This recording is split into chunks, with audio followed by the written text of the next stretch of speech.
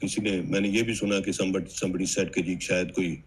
extension के लिए कोई बात चल रही थी कुछ तरह की अच्छा let me put this this thing to rest today once and for all chief of army staff is neither seeking an extension nor will he accept an extension no matter what